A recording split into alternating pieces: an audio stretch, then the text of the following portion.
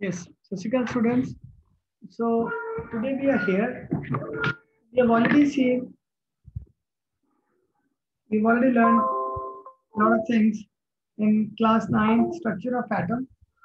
We've learned about isotopes yesterday. And today we will, we will be learning about, we'll be doing all the sums in the exercise, all the all the unsolved sum in this chapter.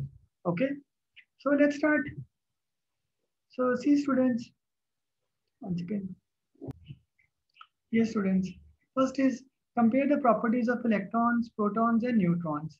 So we have electrons here, right? Yes, sir. Then we have electrons here, and then we have protons, and we have elect we have neutrons. Okay, so we are going to compare the properties. So you see, first we'll talk about charge. Electrons have which charge? Negative. Proton have positive charge. Neutrons, neutrons have no charge. Right? What is the mass of proton? One unit mass. Mass of neutron, one unit mass. Mass of electron is around 1 by 1800 the mass of proton. It, it, it is 100, 1 by 118 the mass of proton. We can assume that proton and neutron have almost same mass, both one atomic unit, right? Then electrons are around the nucleus and protons are present inside the nucleus. Then which all property we can discuss? Yes, students? So there, you see, electrons are attracted towards positive charge, protons are attracted towards negative charge, but neutrons are not attracted towards any charge. Done. What are the limitations of J.J. Thomson's model of an atom? Anyone can tell me? What is the limitation of J.J. Thomson model of an atom? Yes, students? You see, when we talk about J.J. Thomson's model of atom, J.J. Thomson's model, he said, remember, the atom is like positively, the, the uh, you know, atom is like a positively charged sphere and electrons are embedded inside it. Am I right? Yes, sir. Right? But this was the limitation of uh, J.J. Thomson's model because we know as per Rutherford model and as per the Bohr's model that the protons are inside the nucleus atom. They are not scattered outside.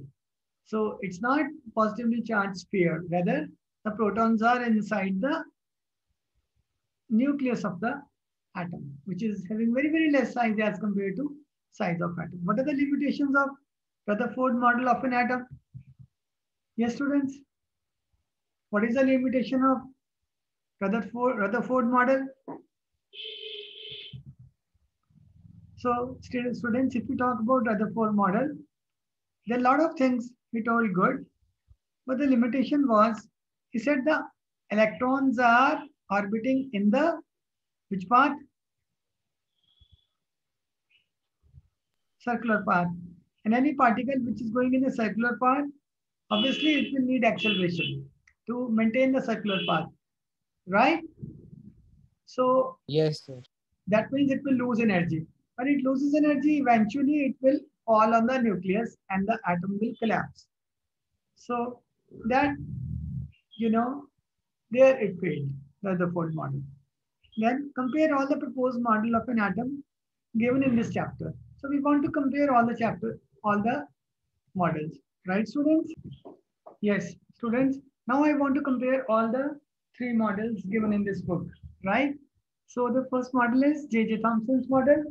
Second model is the Rutherford model. The third, third model is Bohr's model. See students, according to Thomson's model, you know, atom is sphere of positive charge compared to a watermelon or a Christmas pudding, right? According to Rutherford, you know, atom is sphere of positive charge. In center, we have nucleus. All mass of atom resides in the nucleus. He was much better, you know, stating as compared to Thomson, because it's not clear in Thomson that where is the positive charge. Okay, in case of Bohr, he was further clear that positive charge in the center called nucleus, this, that was stated by Rutherford also. But then, you know, as far as Thomson is concerned, he was a bit clear that electrons are outside the no, uh, outside, uh, you know, outside, but outside what? He couldn't clear the concept of uh, nucleus, you know. Uh, but then Rutherford was little better. Electrons revolve around the nucleus in well-defined orbits, right? Bohr further gave a very precise statement that electrons revolve in discrete orbits and do not radiate energy. What is the meaning of discrete orbits? One, two, three, four. These orbits having fixed shape and one, two, three, four, K, L, M, N. These numbers can be assigned to these shells known as orbits. So these are discrete orbits. They are not, you know, you can say that they are not overlapping with each other, right? So like aeroplanes flying in the air have their well-defined trajectories. They not go anywhere, right? So this is a model of J.J. Thomson. The empty space is like the red part of watermelon, right? And that is positive part, but that was discarded. Because here in Rutherford alpha scattering experiment, we understood the alpha particles which, you know, possibly stroke at the edges of the nucleus got diverted. All other alpha particles, they were, they passed through the gold foil without changing anything in the direction. That's great. And then Bohr gave this model that KLMN can be the uh, way we can define all the orbits or shells or the trajectories of trajectories of electrons around the nucleus. Good. Then positive charge, negative charge, that was given by Thomson also. You know, and then atom is electrically neutral. This was also given by Thomson. Size of nucleus is very small as compared to size of atom. Nothing was told about this by Thomson. And then Bohr orbits were termed as energy shells labeled as KLM or N shells. Very good. Yes. So students, as Mansimrat Kaur has already answered this question, uh, compare all, uh, summarize the rules for writing distribution of electrons in various shells of first 18 electrons. So students, who was the scientist who gave the idea that there are discrete shells? Was it Thomson, Rutherford or Bohr? It was Bohr, Niels Bohr. Good. So now first 18 elements. Now when we say first 18 elements, obviously this means that 18th element will have atomic number of 18 only, first 18. We know that elements in the periodic table are arranged according to their number of protons. And number of protons is what? Z. What is that? Atomic number. So the 18th element will have atomic number of 18. That means it will have how many electrons? Number of electrons will be 18. And in a electrically neutral atom, the positive charge is equal to negative charge. So we can say how many electrons will be there? 18. Correct. So how they will be distributed? You know, uh, that is according to the formula 2n squared, right? For K shell, n is equal to 1 student. So how many number of electrons? 2 into 1 square is equal to 2, right? For L shell, so we'll be covering all the uh, sums of unsolved sums of this exercise, right? Okay, L shell would be 2 into 2 squares. That will be 2 to the 4, 4 to the 8, right? But then we still have one more, okay, L M shell.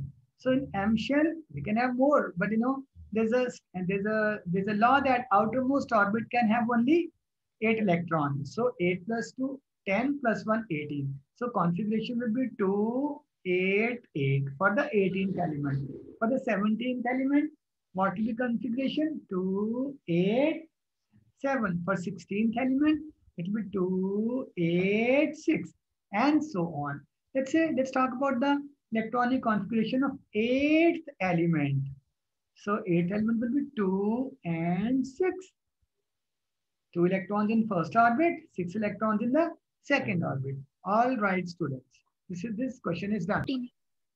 Okay, student, next question. Define valency by taking examples of silicon and oxygen. So, students, now we're going to define valency. Just see. So, students, I'll write here valency.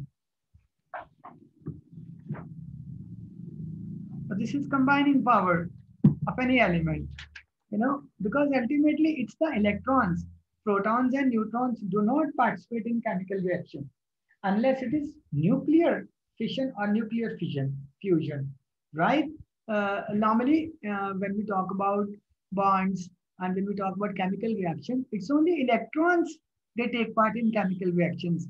All the chemical reactions can be summarized as simply exchange of electron, either sharing or exchange. So what is valency? Students, either, you know, the concept of valency is the result of koshish of all the elements to complete their octet. All the elements want to complete the octet means they want to have eight, two, three, four, five, six, seven, eight electrons. Like noble gases, they are most happy in the outermost shell. Am I right? So I've drawn more than eight. It's only eight only. Fine. So now any element, you know, who has one electron, two electron, three electron in the outermost orbit. We will say its valency is plus one, plus two, plus two, y. The thing is, you know, it is it is easier to give one electron, two electron, or three electrons than to accept, in this case, five electrons, in this case, six electrons, and it's really impossible that instead of giving one electron, you end up uh, thinking that I will accept seven electron and complete my orbit. That is, you know, impossible. So much energy is needed. So these electrons are known to have positive valencies. All the metals, you know, students, approximately center of periodic table and then left of it, they, they are all the metals. And center of periodic table, right of it, we have all the gases, you know, and then they are, you know, kind of uh, take the electrons. So they have negative charge. So guys, you see that, uh, you know, now we're talking about silicon. So what is the atomic number of silicon? Anyone can tell me? 14. Silicon is 14. So what will be the electronic configuration? Yes, Rosedeep Kaur. Say loudly. 2, 2, 8, 8, 4. 4. So I can say it's tetravalent, just like carbon. So definitely you will see silicon would be, you know, uh, it's tetravalent, uh, just like carbon. So what I want to say is that uh, its valency will be 4, right? What about oxygen? What is, I think its atomic number is 8 if I'm right. Atomic number is Yes, 8, sir. so it will be 2 and 6. Now it has 6 electrons in the outermost orbit. So students tell me, will it be 2 positive or 2 negative? Two negative, very right. So 2 negative. It's not possible to uh, tell all the electrons get lost from here. You, you need so much energy.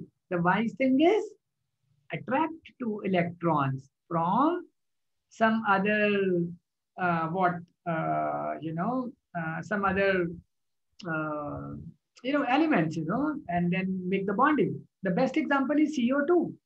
So carbon is having four electrons available. It's tetravalent.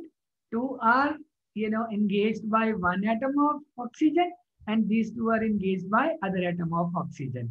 So both the oxygen atoms octet is complete, and ultimately we get a CO2 carbon dioxide. You might wonder then how we get CO. This is carbon monoxide. So then students, you know, in later classes, you know about, uh, you know, bonding, you know, like single bond, double bond, triple bond. So this is how they are engaged. When we talk about single bond, two atoms are engaged. When we talk about double bond, four electrons are engaged. When you talk about triple bond, one, two, three, four, five, six electrons are engaged. So this is how engagement is done, right, students? So then, uh, then comes explain with examples what is atomic number, mass number, isotopes, isobars, and we have isotones also. Give any two examples of isotopes. All right.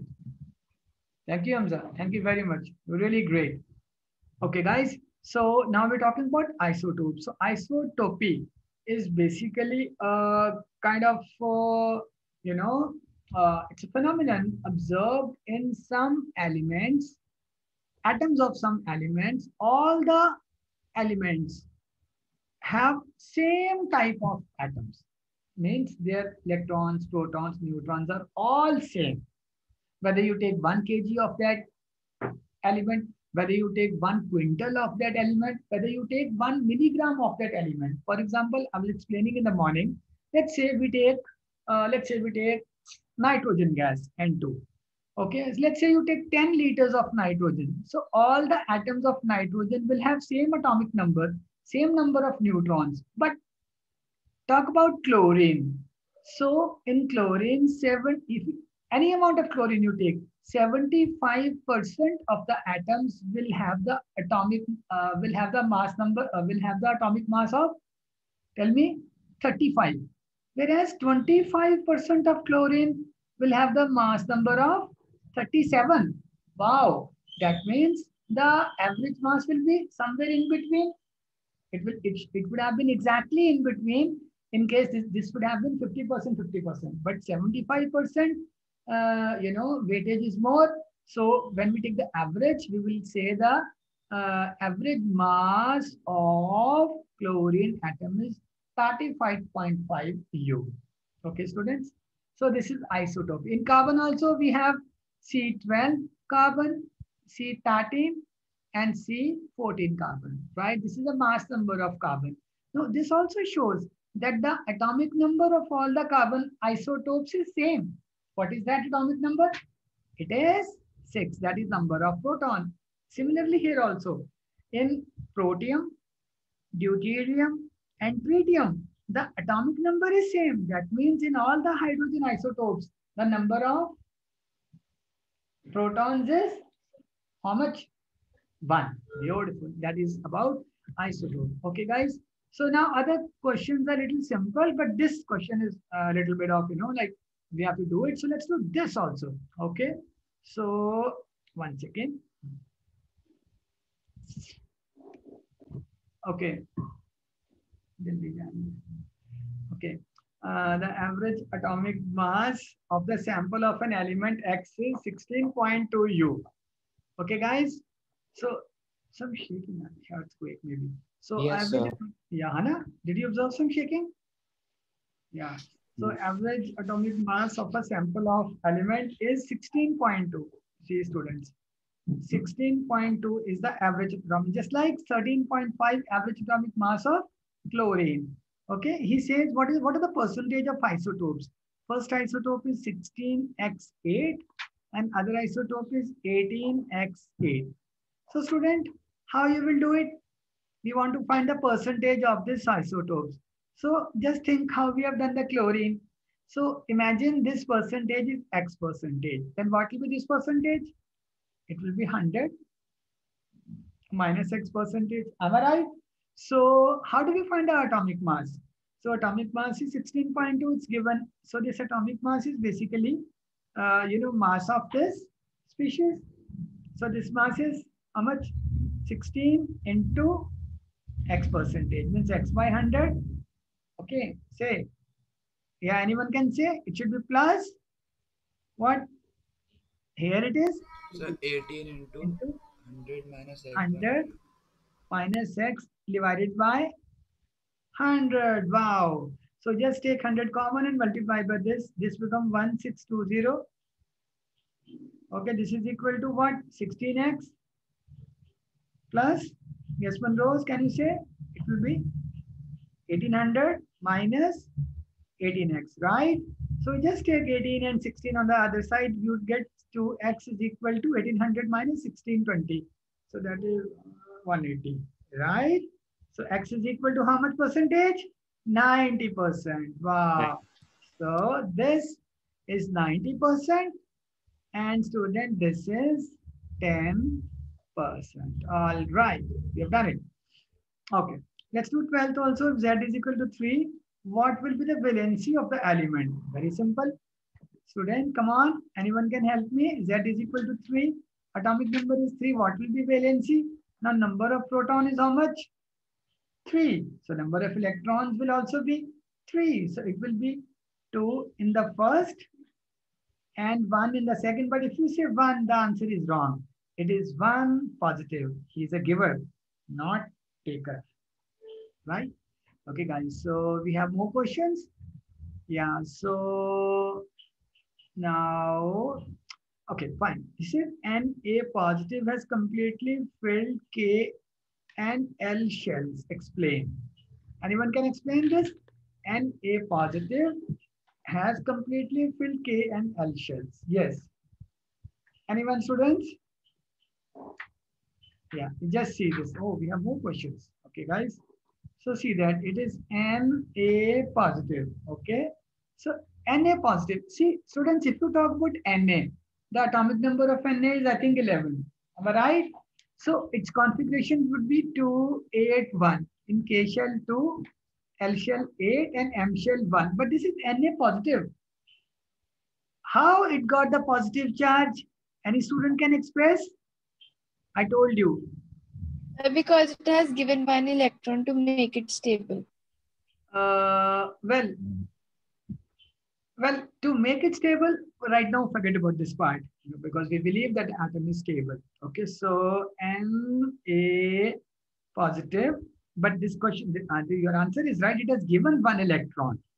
If it if it had allowed to take one electron, its charge would have been negative. It will never take electron. Why? Because its orbits is like this: two, eight, and one you know, you take very less energy to tell this electron, electron get lost so that my effort is complete rather than allowing seven electrons to come. So, so many reactions, so many friendships, so many bonding it has to do with different, you know, uh, elements, atoms of different elements, so much complexities. No, the best thing is, so atoms are also smart. They want to take the path of what? minimum resistance to reach the success. That's what you should do. Do smart work. So they said, okay, come on, get lost. So when it has gone out electron, you get Na positive. So Na positive, what will be the uh, configuration? Simply two here and eight electrons here. That's all.